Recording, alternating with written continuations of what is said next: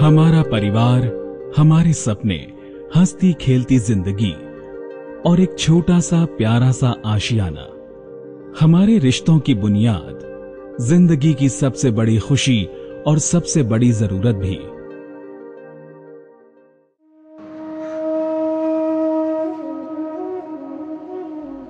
परंतु बिना आशियाने के, ना तो सपने ही रह पाते हैं और ना ही होठों की मुस्कान।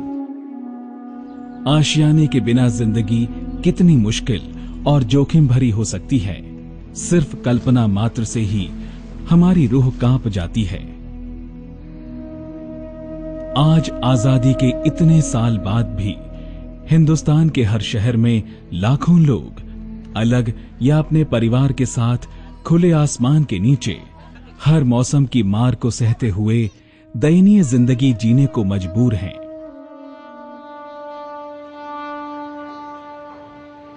ये बेघर नागरिक ही हमारे शहर निर्माता हैं, जो शहर के निर्माण तथा विकास में पूर्ण रूप से सहायक होते हैं। लेकिन इसके बदले हम, हमारा शहर, हमारी सरकारें, हमारा प्रशासन इन्हें क्या देता है? फुटपाथ, खाना बदोश जीवन, या फिर पुलिस या डंडे, जो उनके जीवन को नरक से भी बदतर बना देते हैं।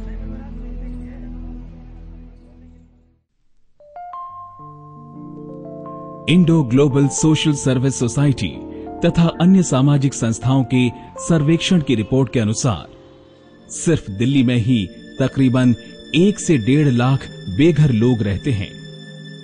और यही हाल भारत के तकरीबन हर शहर का है।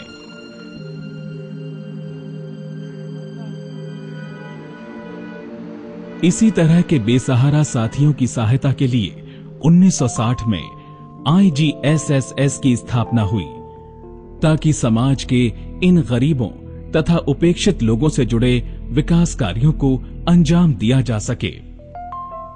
आईजीएसएसएस एक गैर सरकारी संगठन है और ये भारत के पंद्रह राज्यों में सक्रिय है। आईजीएसएस का उद्देश्य ये है कि ना कि जहाँ पर भी वो काम कर रही है, वो एक एक क्या बोलते हैं, एक सोसाइटी ऐसा बनाए, जहाँ पर हर व्यक्ति बेसिक प्रिंसिपल्स क्या बोलते हैं? ट्रूथ जस्टिस और डिग्निटी के साथ यू नो ये प्रिंसिपल्स के साथ हम लोग काम करें। बेघर लोगों के लिए जो लोग फुटपाथों पर सोते हैं, उनके लिए दिल्ली का खास तौर से कोई भी मौसम ऐसा नहीं है जिसको आप कह सकते हैं कि वो मतलब अच्छा मौसम है। गर्मी में भी लोग मरते हैं, बरसातों में लोगों को बहुत दिक्कत होती है और ठंड में तो लोग मरते ही मरते हैं। सन 2008 में आईजीएसएसएस व अन्य संस्थाओं ने मिलकर शहरी अधिकार मंच का गठन करके इन गरीब नागरिकों के लिए काम करना शुरू किया, ताकि इन बेघर लोगों को छत, शिक्षा, भोजन, रोज़गार और समान सामाजिक व कानूनी अधिकार मिल सकें। तथा ये लोग जहाँ भी रहें, इन्हें नागरिक पहचान पत्र, राशन कार्ड, बैंक खाता तथा अन्य छोटी मोटी सरकारी सुविधाएँ प्राप्त हो सकें। 2 अक्टूबर 2009 में इन बेघरों की परेशानियों को नगर, समाज और सरकारी अमलों तक पहुँचाने के लिए शहरी अधिकार मंच ने दिल्ली में एक 10 दिवसीय रैली का आयोजन किया। तीस से ज़्यादा संगठन हैं जो शहरी अधिकार मंच के साथ जुड़े हुए हैं और शहरी अधिकार मंच एक अर्बन पॉवर्टी का एक फोरम है जिसमें शहरी गरीबी के मुद्दे पर हम लोग सब एक साथ मिल करके उसके उसके लिए काम करते हैं।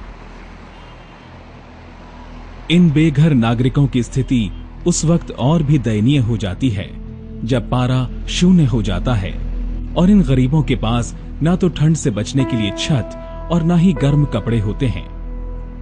इस स्थिति में ठंड से मरने वालों की संख्या बढ़ जाती है। सुबोध बिंद मेरा नाम है। बिहार के रहने वाले हम लोग सब यहाँ पे। मुझे यहाँ पे पच्चीस साल हो चुका है। इससे पहले हमारे माँ बाप यहीं पे रहते थे। पहले हम लोग का कि इसके ऊपर ही था पटरी पे साइड में। ठीक है ना? और अब इसके फिर इसके बाद यहाँ से हटाने के बाद हम लोग नीचे रेलवे ट्रैक के नीचे किनारे में लगातार रहते आ रहे हैं हम लोग। और उसके बाद सरकार ने भी हम लोग को रेलवे के पुलिस वालों ने मिलकर हटा दिया हम लोगों को। एक सर्वे रिपोर्ट के अनुसार उत्तर भारत में सन 2009-2010 में ठंड से मरने वालों की संख्या 1000 के आसपास थी। और सिर्फ़ दिल्ली में ही 70 लोगों की सर्दी के कारण मौत हुई। 2007 के बाद दिल्ली में बेघरों की आबादी बढ़ी, जबकि शेल्टरों की संख्या में कमी आई।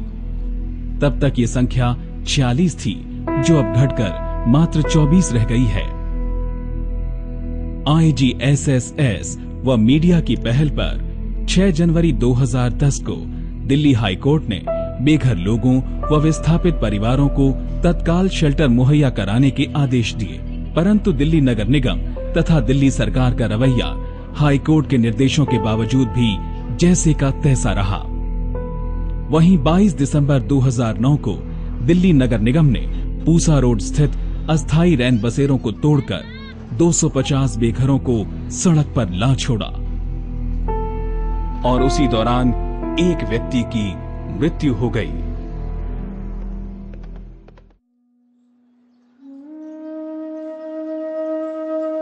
आईजीएसएसएस ने इन बेघर नागरिकों की दयनीय स्थिति को देखते हुए इनके रात में सोने और रुकने के लिए बसेरों का निर्माण किया और इन्हें ठंड से बचाने के लिए कंबल तथा चिकित्सा उपलब्ध करवाई।